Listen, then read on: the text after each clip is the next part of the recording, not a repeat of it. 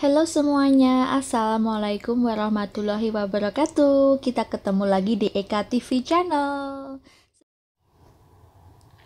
Yuhu, siapa nih yang penasaran dengan gaji youtuber untuk satu video dengan viewer seribu hingga ratusan ribu? Check this out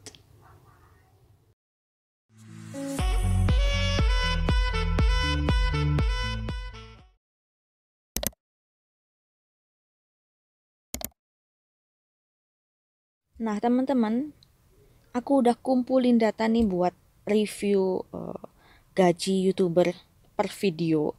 Nah di sini bisa dilihat penayangan untuk satu video ya, 165.000,6, 165,6 ribu.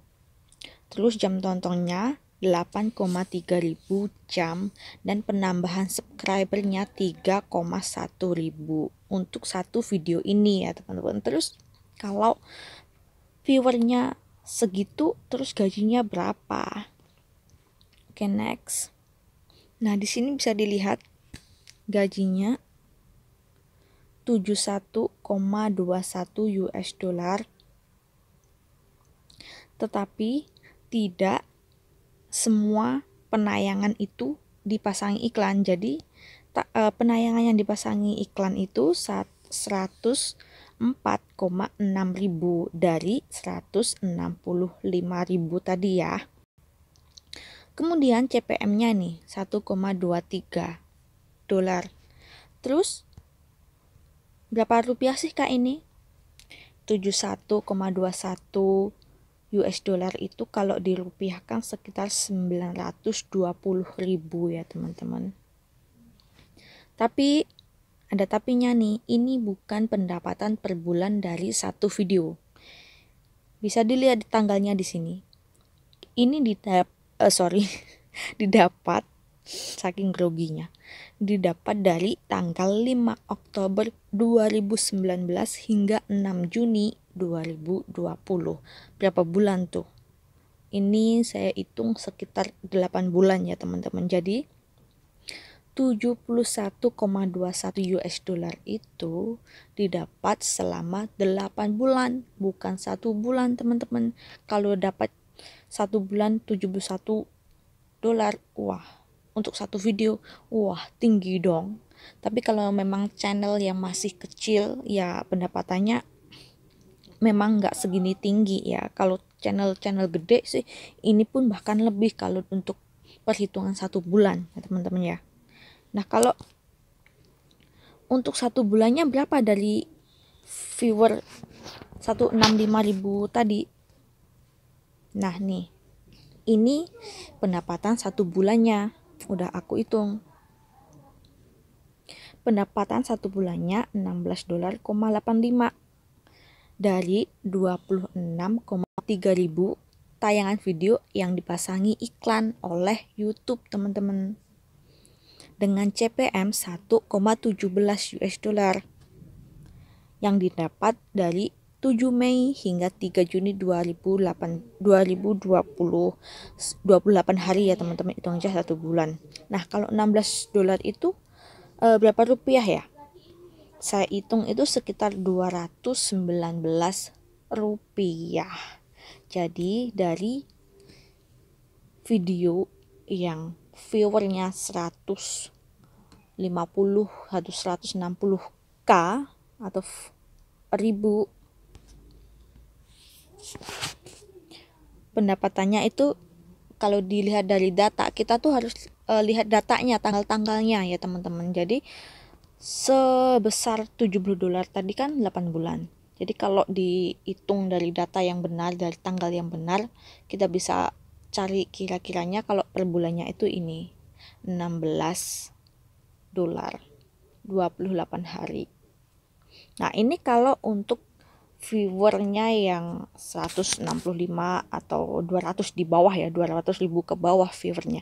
Nah gimana dengan video kalau viewernya hanya 1000 kak berapa tuh pendapatannya? Kita kita cari ya kita lanjut.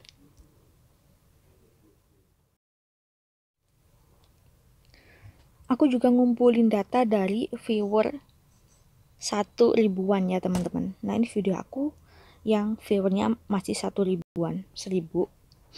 Dan dapat penambahan subscribernya 6 kemudian jam tontonnya 62 jam terus pendapatannya berapa? Kalau 1000 eh, 1000 ngomongnya sih belepotan. Pendapatannya ini nih. 0,14 eh 0,43 tetapi itu didapatnya bukan hanya satu bulan nih teman-teman. Tuh lihat jamnya. Eh tanggalnya 20 Februari 2020 hingga sekarang. Sekarang itu tanggal berapa ya? 4 Juni. Eh, sekitar 4 Juni ini. Hari ini 4 Juni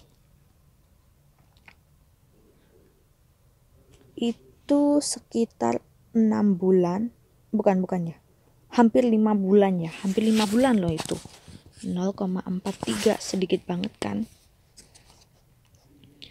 dan dari 1,1 ribu tayangan itu berapa tayangan yang dipasangi iklan? Kita cek lagi. Nah, ini teman-teman. Yang dipasangi iklan adalah 590 tayangan. Jadi nggak semua tayangan itu dipasangi iklan oleh YouTube.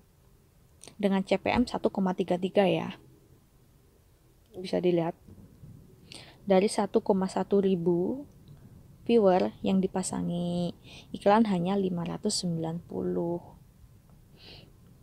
tinggi rendahnya pendapatan kita ditentukan oleh CPM dan berapa banyak tayangan video kita yang dipasangi iklan oleh YouTube. Jadi setiap video itu berbeda. Jadi kalau kita menyimpulkan kak berapa sih gaji vid uh, youtuber per video itu kita nggak bisa menjawab pasti karena setiap video ataupun setiap channel itu mendapatkan berbeda pendapatan per videonya. Jadi kalau dihitung pasti itu nggak bisa ya. Kadang-kadang ini channel aku dengan channel yang lain, kalaupun sama viewernya, tapi perbandingan gajinya pasti ada perbedaan. Tapi kalau yang yang apa namanya? Kalau untuk satu seribu viewer itu kan ini hitungannya lima bulan. Nah kalau yang satu bulan berapa tuh kak? Nah kalau untuk di dihitung per bulannya maka pendapatannya adalah 0,16 US dollar. Oh ya yang 0,43 dolar tadi aku hitung itu rupiahnya eh, 5000 teman-teman. Nah kalau ini berapa? Kalau 0,16 ini rupiahnya adalah 2000 ya teman-teman untuk satu bulan tuh. Dan video yang dipasangi iklan 200 200 eh, tayangan dengan CPM 1,49 nih 28 hari. Ini datanya aku ambil berbeda-beda ya teman-teman karena tadi ada data yang udah aku screenshot tapi hilang ini aku ambil baru. Jadi inilah gaji youtuber per video antara viewer rendah dan viewer tinggi. Teman-teman bisa cek sendiri di bagian analitik data dan bisa pilih tanggalnya yang mana teman-teman ingin cek jadi setiap video itu berbeda ya teman-teman. Nah kalau tadi itu aku aku ada tiga data yang aku buat yang aku kumpulin untuk aku uh, review. Kemudian ini kan data kedua nih yang 1000 viewer. Kita lanjut ke data ketiga. Ini juga ada data ketiga yang aku kumpulin juga untuk melihat perbandingan gaji dari satu video ke video lain dengan perbedaan viewer. Nah, ini kan viewernya tinggi tuh teman-teman ya 189,4 ribu lebih tinggi dari yang tadi yang pertama aku sebutin yaitu 165, sekian ribu. Terus gajinya tinggian mana dari data pertama dan data ini? Ini eh, jam tontonnya 7,8 ribu ya teman-teman.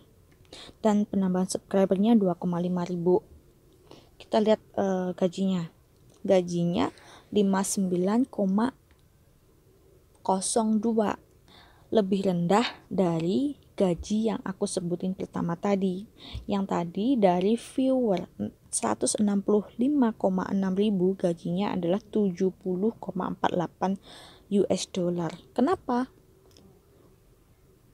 Kenapa viewer lebih tinggi tetapi gajinya lebih lebih rendah? Tadi kan sudah saya sebutkan ya.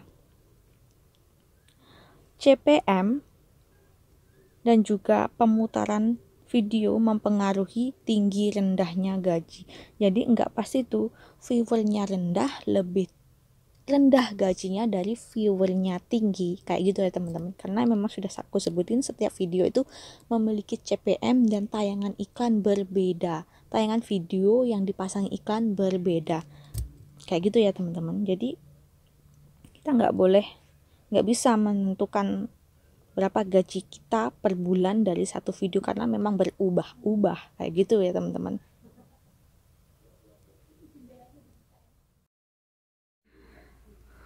Oke teman-teman itulah review dari gaji per video dengan berbeda viewer ya. Semoga bermanfaat dan jangan lupa untuk like dan juga subscribe. Semangat buat semua YouTuber pemula.